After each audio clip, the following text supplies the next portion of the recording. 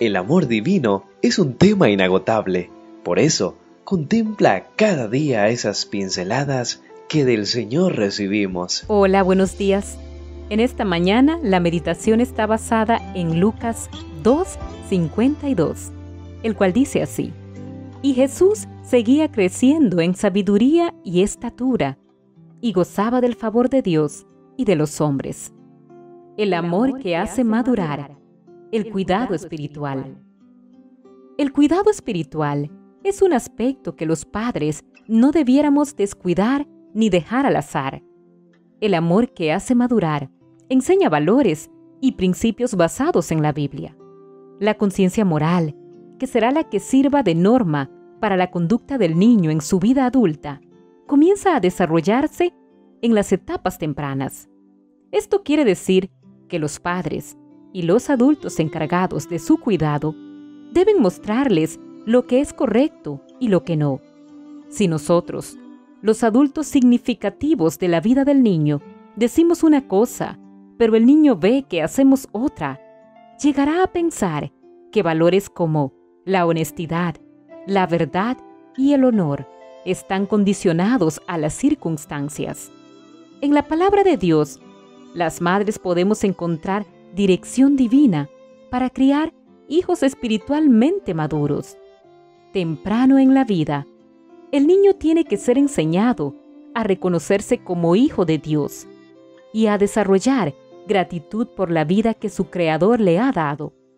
Los padres que piensan que la instrucción religiosa debe postergarse a etapas ulteriores de la vida, pierden la oportunidad de conducir a sus hijos por el camino de la fe, ya que esta es una virtud que los sostendrá con fortaleza cuando vengan los contratiempos propios de la vida.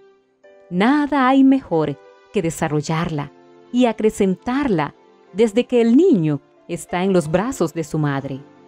Vive mejor quien tiene a Dios en su corazón que aquel que piensa que no existe.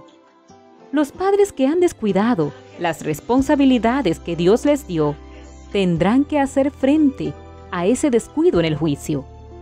Entonces, preguntará el Señor, ¿dónde están los hijos que te di para que los prepararas para mí? ¿Por qué no están a mi diestra? Muchos padres verán entonces que un amor necio les cegó y dejó que esos hijos desarrollaran caracteres deformados, ineptos para el cielo. Otros verán que no concedieron a sus hijos tiempo y atención, amor y ternura su descuido del deber hizo de sus hijos lo que son. Padres, si pierden su oportunidad, Dios tenga piedad de ustedes. Supongamos que llegaran al cielo y ninguno de sus hijos estuviera allí. ¿Cómo podrán decir a Dios, He aquí yo y los hijos que me dio Jehová somos por señales? Isaías 8:18.